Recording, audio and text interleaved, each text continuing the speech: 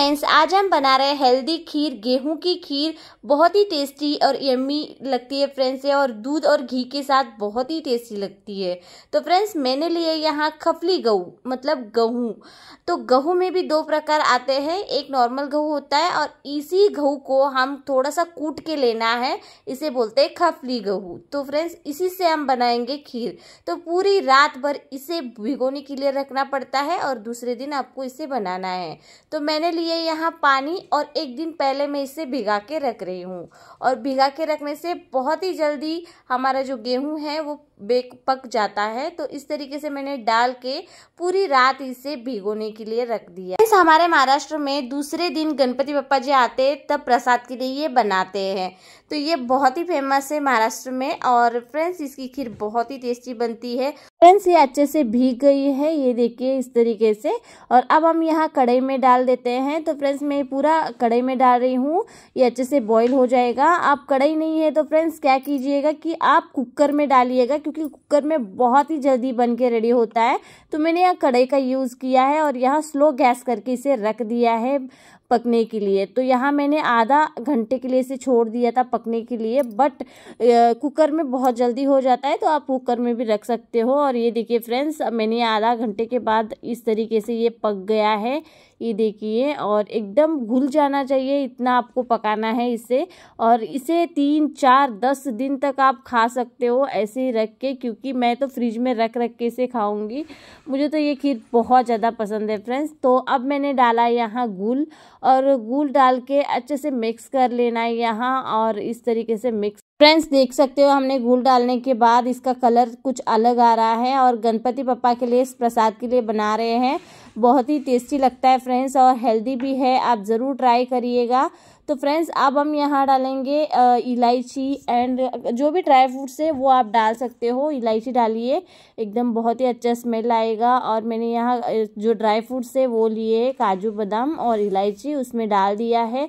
और इसमें डाल के अच्छे से इसे भी मिक्स कर लेना है। और देखिए फ्रेंड्स जितना आप इसे बॉईल करेंगे बेक करेंगे, उतना ये टेस्टी लगता है खाने में और एकदम गाढ़ा बनता है। तो इस तरीके से मैंने अच्छे से मिक्स करने के बाद देख सकते हो फ्रेंड्स जैसे गुल हमारा मेल्ट हो गया है, वैसे ये अच्छे से बेक हो गया है और अच्छे से ये कलर आ चुका है इसका। बट इसे एक दो बार हमें बॉयल आने देना है। अच्छे से मतलब एकदम गाढ़ा होने तक आप इसे बॉयल करना है फ्रेंड्स इससे क्या होता है, एकदम टेस्टी खीर बनती है कुछ इस तरीके से। और देखिए, गुल जो है वो अच्छे से आपको पिघल लेना है।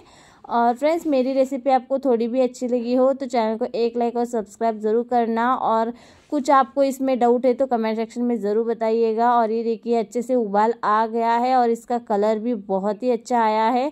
और देख सकते हो कितना अच्छा लग रहा है। तो फ्रेंड्स दूध और घी के साथ ये बहुत ही टेस्टी लगता है खाने में। तो इस तरीके से मैंने अच्छे तरीके से इसे बॉईल कर लिया है। और देखिए फ्रेंड्स इसका टेक्सचर और हमारे यहाँ इसे शादियों में और ज़्यादा करके इसमें प्रसाद में ही बनाया जाता है। और मैंने इसे प्रसाद में ही बनाया था। और गणपति पप्पा के लिए, प्रसाद के लिए बनाया है फ्रेंड्स और ये बहुत ही टेस्टी लगता है खाने में। आप ज़रूर ट्राई करिएगा और ये देखिए फ्रेंड्स ये कितना गाढ़ा बन गया है। जैसे हमने इसे और बीस मिनट रखा है तो ये अच्छे से गाढ़ा हो गया है। और इसका टेक्स्चर देख सकते हो फ्रेंड्स कितना यमी आया है और बहुत ही हेल्दी तरीके से तो अब मैं यहाँ एक बाउल में आपको निकाल के दिखाती हूँ कि कितना ये टेस्टी बना है और इसके साथ क्या क्या खाना चाहिए आपको। कि ये देखिए फ्रेंड्स बहुत ही यमी लग रहा है और आपको कैसा लगा ये ज़रूर कमेंट सेक्शन में बताइएगा। तो इस तरीके से आप बना सकते हो, बहुत ही इजी तरीका दिखाया मैंने बनाने का। तो फ्रेंड्स अब मैं एक कटोरी में आपको डाल के दिखाती हूँ। ये देखिए फ्रेंड्स इसका टेक्सचर एकदम यमी एंड डिलीशियस आया है और ये गरम गरम ही बहुत अच्छा लगता है। दूध और घी डाल के खाएँगे तो और बहुत ही मज़ा आएगा। तो इस तरीके से मैंने बाउल में डाल लिया है। अब हम यहाँ डालेंगे दूध। तो फ्रेंड्स दूध के साथ इसे ज़रूर खाना बहुत ही टेस्टी लगता है और ये देखिए ऊपर से मैंने दूध डाल लिया है। आप बैटर में भी दूध डाल सकते हो बट वो दूध वाला ज़्यादा दिन नहीं टिकेगा तो इसलिए आप पानी वाला ही बनाइए फ्रेंड्स जैसे मैंने दिखाया है। और मैंने यहाँ दूध डाला है और डाली है मैंने एक चम्मच घी तो फ्रेंड्स इस तरीके से डाल के बहुत ही टेस्टी खीर बनाए है और हेल्दी है और प्रसाद के लिए बनी है। तो फ्रेंड्स कैसी लगी आपको ये रेसिपी कमेंट सेक्शन में ज़रूर बताइएगा और बहुत ही टेस्टी लग रही है। और फ्रेंड्स, दूध हम जब इसमें दूध डाल के उबालेंगे ना तो दूध एक ही दिन रहता है तो दूसरे दिन वो खीर ख़राब हो सकती है। तो इसलिए मैंने इसमें दूध नहीं डाला। बाद में आप ऊपर से दूध डाल के खा सकते हो और या दूध और घी डालने के बाद इसका टेक्चर देखिए फ्रेंड्स, बहुत ही यमी और टेस्टी आया है। और इसे दस दिन तक आप फ्रिज में रख के खाएँगे तो भी कुछ नहीं होगा, क्योंकि ये इतनी अच्छी रहती है और बाहर रखेंगे तो ख़राब होने के चांसेस होते हैं।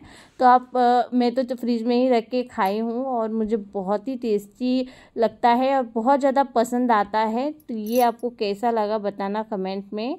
इस तरीके से आप गेहूँ की खीर बनाकर रेडी कर सकते हो फ्रेंड्स और गेहूँ को थोड़ा सा आपको मिक्सी लगा लेना है। एक ही मिक्सी और हो गया बस आपको इसे भिगो कर बनाना है और इतना टेस्टी और हेल्दी खीर बन के रेडी होती है। फ्रेंड्स आपको ये खीर कैसी लगी? कमेंट सेक्शन में ज़रूर बताइएगा और वीडियो थोड़ी भी यूज़फुल लगी हो तो चैनल को एक लाइक और सब्सक्राइब ज़रूर करिएगा। तो फ्रेंड्स बहुत ही टेस्टी बनी है खीर और मुझे तो बहुत ज़्यादा पसंद आई और जितना आपको मीठा बनाना है, उतना ही आपको गुल डालना है। तो फ्रेंड्स वीडियो यूज़फुल लगी तो like and subscribe thank you for watching every